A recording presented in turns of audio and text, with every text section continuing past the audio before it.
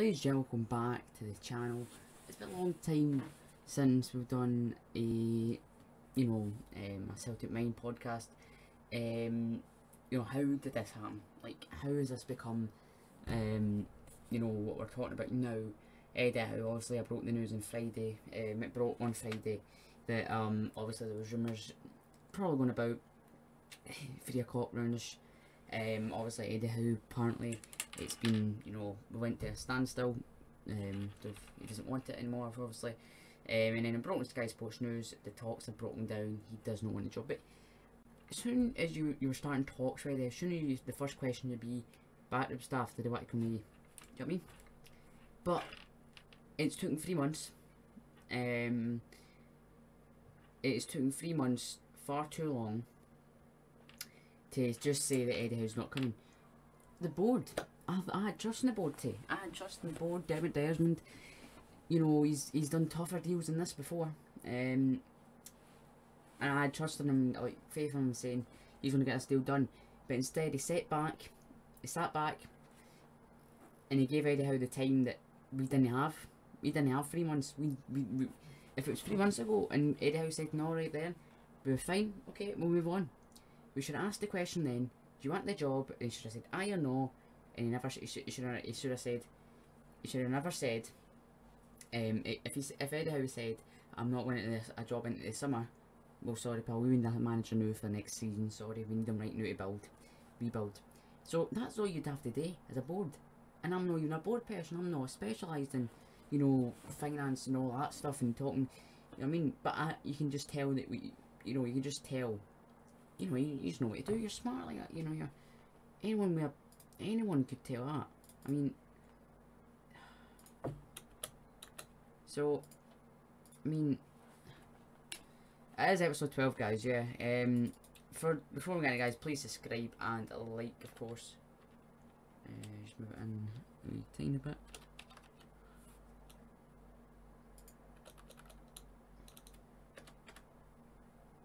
Right. Um, but let's get into it, guys. Um, obviously, we're going to get into Ange Postecoglou. Um, I'm not good at pronouncing, but the recent views on the channel, guys. Thank you for the recent views and stuff, and thanks for replies back about some Australian people come back in the channel. Thanks for the, thanks for watching the channel, and they've came back with some good um, comments about the Australian League, which is really thankful, and I've, I've replied and all that stuff. So thank you for that. Move on. Um, Angie um, or Ange, whatever you want to name, uh, Angie. Ange Postecoglou to Celtic is reportedly under threat after the Aussie hasn't met the licence agreements set out by UEFA.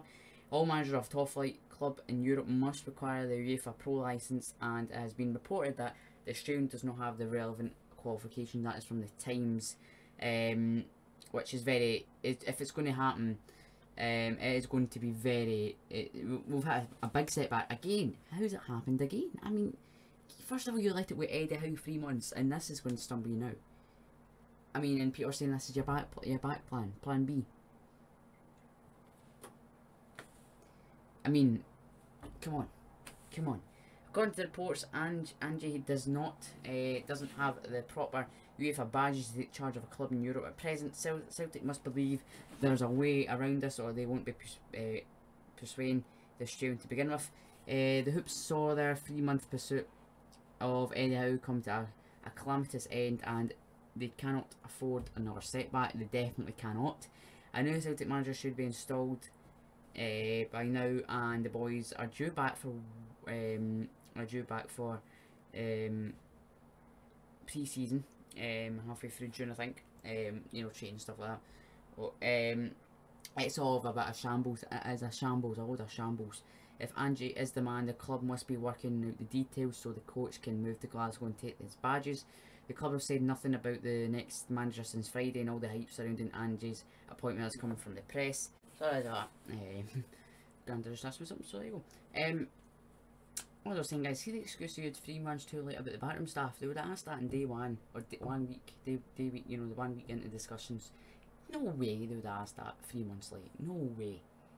And they use that excuse. That's more shit. More. That's embarrassing. That. Um. I mean, if you didn't want the job, you know, meet with the manager now. Just you know what I mean, as I say on Friday. Um, so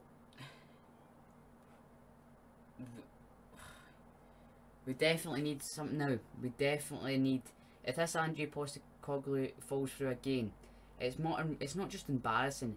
It's the way the clubs have run this club. Uh, the the way the owners and the the back the, the board have run this club from not even this season. You're talking the end of the last season. They put in a hope and putting in a season ticket last season, saying you're not getting into the stadiums this season, unfortunately, but you're going to have to pay five or pound during this COVID pandemic back then, still you know going on now, to watch on your your phone or your TV, not in the stadium, and to watch that rubbish last season there, and this, the club only give you back, the club only give you back a fifty pound voucher for the, the the club the club shop, not even money back, not even sitting, not even money off your season tickets, not even money off anything, just money to buy more of their stuff. I mean, you're talking about down in England, the Glazers, or uh, you know, Man United destroying Man United and stuff. Look, cardboard here. A shambles. It's a little shambles from top to bottom, bottom to top. I mean, come on. I, I don't believe it. Like, if Celtic had this all along, right? If Celtic had this on Ange Postecoglou, um, now we're talking UEFA badges, pro license, surely if they had this as a plan B all along, three months, they'd have got his licenses by now. And you're talking, he's got to quarantine two weeks because he's obviously from Australia or wherever he is now. I think he's in Australia now or Japan. I don't know one of the two.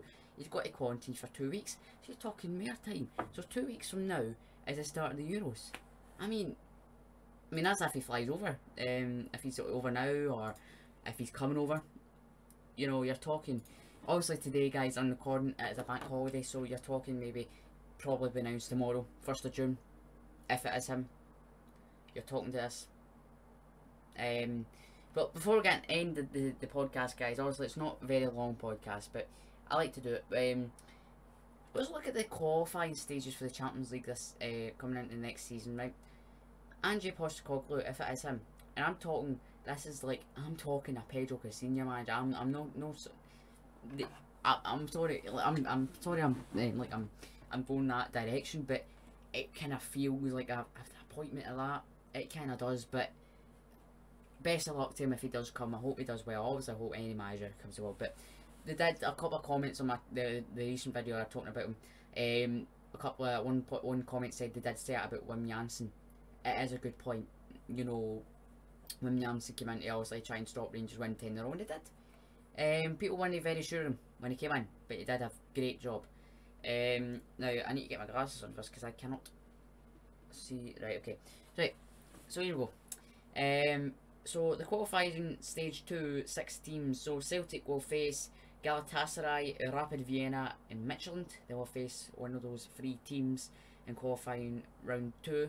And then if they get through to qualifying round 3, they will face either Sparta Prague, uh, Spartak PSV or Genk, I mean, you're talking Sparta Prague again. I mean, we already get hammered bloody 4-1 twice last season in the Europa League. Can not even get any worse. We're facing them. Might even face them again. That's when past qualifying round two. You're talking like Galatasaray, Rapid Vienna, Michelin, uh, Eric Shevchenko's team at Midtjylland there. Um, if you get past that, um, the qualifying round, like the end, you know, the, the post qualifying round before you get into the Champions League, it is, oh my god, you're talking Shakhtar Donetsk or Benfica. Jesus. I, I, there is no chance. I would always like Celtic to win, but there's absolutely no chance we're getting into the Champions League with them teams.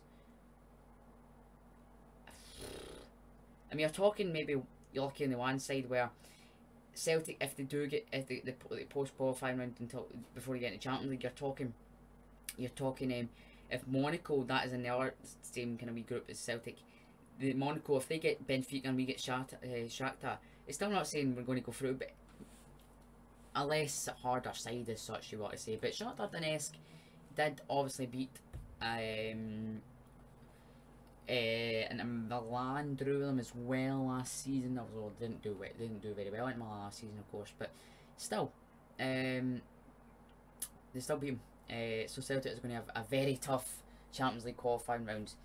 And that is the question: How well can Celtic do in Europe next season with this Ange guy coming in? We'll never know until obviously he comes in. And you know some of his tactics and the things which people are showing is he's a good manager, a top coach, and in Australia. Uh, if I search him up, he says he's a, he is the one of the most successful Australian club coaches with two premierships, four championships, and a con- continental title. Uh, he's age 55. He's his team's coach is Yokohama uh, Marinos, head coach since 2017. Um, and yeah. So he's currently managing Yokohama Marinos, so it's I think it's Japan. So the quarantine still two weeks, of course. You're talking here. But we'll move on to transfer news before we end the podcast off. Hope you guys enjoyed it. Please subscribe and like. Kristoffer Ajer is set to join Newcastle United of a free for a fee of around six million, which is very very disappointing. He's been class. He's, he's shown he wants to play for the shorter season. He's shown the emotion, as I said in recent videos and guys. Um, the 23 year old has one year left in his contract and is likely to leave the club this summer, meaning with one year left, the fee is will be pretty cheap so that the club doesn't lose out on the Norwegian for free next summer, which is very disappointing. It is what it is, but uh, it's very disappointing if I actually, you know, uh, my fire is leaving. It will be very disappointing, but you know, um, I'll speak to you guys very shortly, guys, on the channel. Thanks for recent views and the comments. You know what? I don't normally do this in podcasts, but since since you know it's a podcast, um, I'll go through some of the comments in the recent the recent video, which has got 408 views. Uh, it was published on 28th May. Right. Um, the guy I was talking about, it's Firepot. He says they said the same about Wim Yum Yum Wim Jansen. Very good. Um, and all that Celtic to go said, well done, you man. Good video. Here we go. You know, I love the supporting channel. We're getting more comments. Great to see. Um, Mark Conway says, a great video, mate. Fantastic knowledge. Um, Matthew, great. So for me, uh, I'll call him just call him Matthew. Um, he came out some a comment saying the Australian League is harder to win than the Scottish League. It is very even league. Uh, they're not just team not just two teams like Rangers and Celtic fight for the title, which is a, a, good league. You know, more teams try to fight for that title, which is very good. Um, uh, comes in with a, a comment saying A League, uh, Australian League is the same level as League One. Uh, the J League is probably better than SPFL or at the same level. And Australian, he is a class manager and will do well for sure if he's given time. Now, the Celtic, I don't think the Celtic board will give time. Like, I, well, I, Celtic board will probably give time, but the Celtic fans, that is the problem. Will Celtic fans give Ange Postecoglou the time he needs over this? You know, I don't think they will. You, they want to see, they want to see wins. They want to win, want to win the title back next season. And this is the way we're going. If this is the way we're going, we're not going to win it for a couple of seasons. The way we're going here, uh, and I'm normally very confident, but this is not the way to go. Um, but best of luck to Ange if he comes. Um, probably do a video tomorrow or something like that. I might record a video or something like that tomorrow. But thanks guys for watching, and I will see you guys for the for another video very soon, guys. Subscribe, like, nice recent views, share the video out. Peace.